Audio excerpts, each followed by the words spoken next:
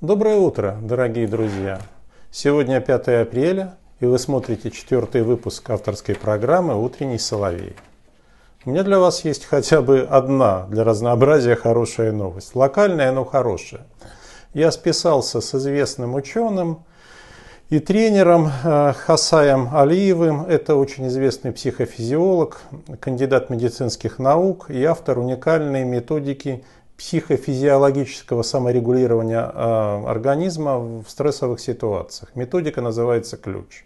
Она очень известна, и автор известный специалист.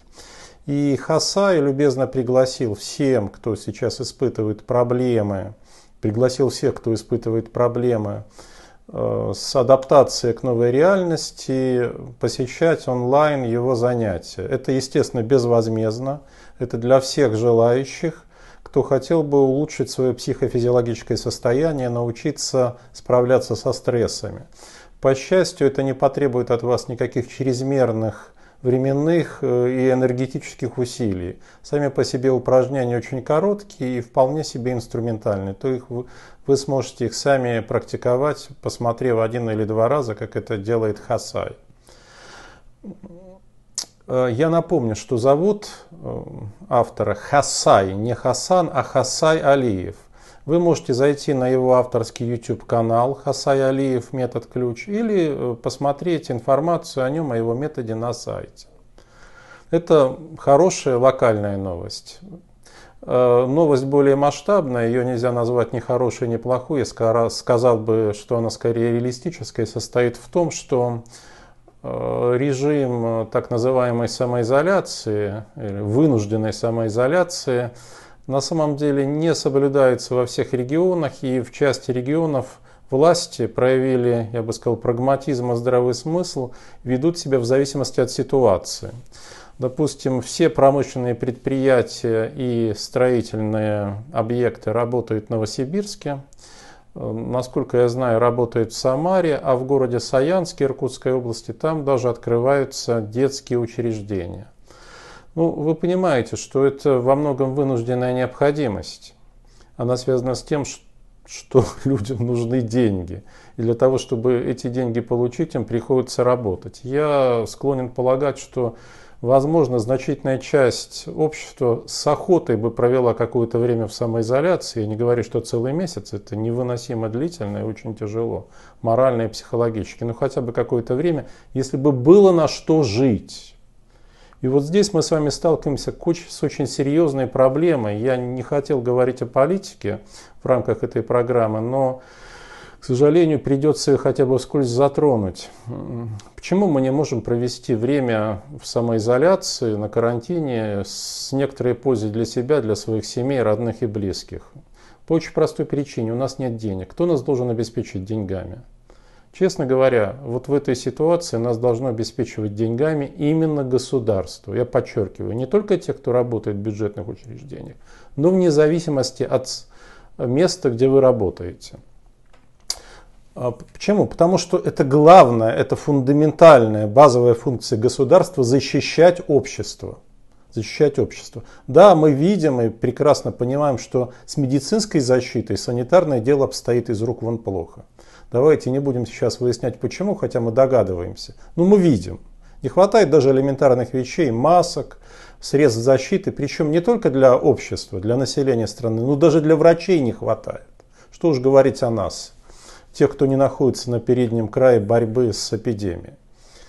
Но государство нам всегда говорило, что оно копит резервы на черный день. Какие резервы? Это фонд национального благосостояния, это золото-валютные резервы. Это значительные резервы. Значительные.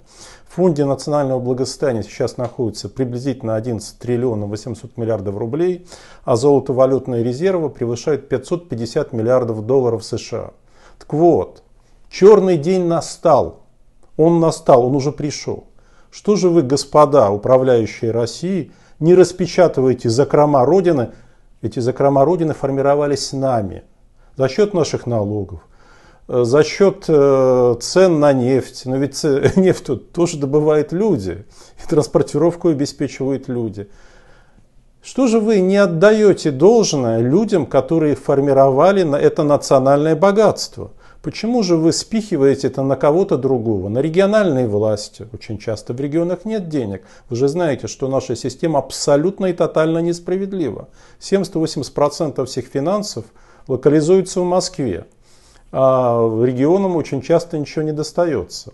Но даже в Москве не хотят Э, предпринимать меры, повышенные меры защиты, объясняя это тем, что иначе бюджеты треснут. Я хочу сказать, что треснут от наглости, от жадности эти люди, которые отказывают своим соотечественникам в защите и в помощи. Итак, что мы с вами можем предположить? Что либо этих денег нет, то есть их нет в фонде национального благосостояния, и нет таких золотовалютных резервов, о которых нам долго говорили, нет этой кубышки. Или же просто на нас плюют. Я реалист, и я могу сказать, что эти деньги есть, но на нас плюют. Соответственно, если государство не выполняет свою базовую функцию защиты, оно не должно от нас ничего взамен требовать. Разумно? Но что оно делает? Оно пытается ограничить нашу свободу. Вводя эту самую пресловутую самоизоляцию, который не имеет никакого законодательного обоснования. Государство снимает с себя всякую ответственность, а нам говорит, больше, чем втроем не собираетесь. Кстати, не собираетесь в прямом смысле слова. Дышите, сопите в тряпочку и умираете молча в своих квартирах. Вот что такая самоизоляция. То есть государство, которое собрало с нас и собирало гигантские деньги на протяжении двух десятков лет, а были очень высокие нефтяные цены – и ВВП России рос более чем успешно, по крайней мере в первые десятилетия 21 века. Значит, оно все это собрало, ничего теперь нам взамен давать не хочет. То есть у нас забирают остатки свободы, но безопасности, о которой нам говорили, которой нам обещали, нам не обеспечивают. Потому что выяснилось, что безопасность страны и безопасность общества обеспечивает не способность уничтожить Соединенные Штаты три раза или пять раз, а обеспечивает наличие квалифицированных врачей, обеспеченных хорошим оборудованием госпиталей, больниц и поликлиник. Вот ничего этого в нашей стране, где на силовиков тратят гораздо больше, чем на здравоохранение и образование, нет и в помине. Вот теперь, сейчас, мы с вами столкнулись с очень прямой проблемой непосредственной. Оказывается, от политики зависит наша жизнь. В прямом смысле слова. Потому что 20-летие политики оптимизации социальной сферы, оптимизации в кавычках это означало, уничтожение фактически.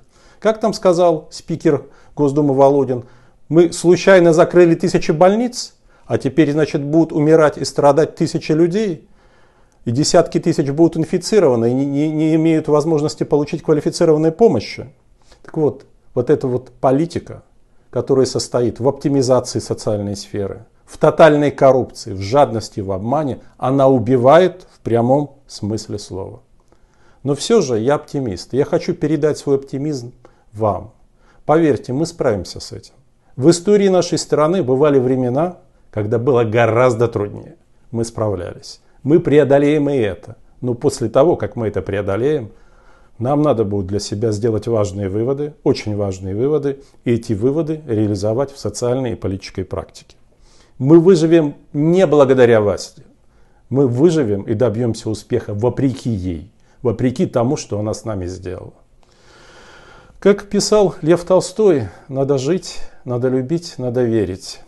И, как обычно, в заключение я прочитаю вам несколько строк. Это Синека, которую я очень люблю, нравственные письма к Луцилию. Ведь и злая судьба непостоянна. Может быть, беда случится, а может и не случится. Пока же ее нет, и ты рассчитывай на лучшее.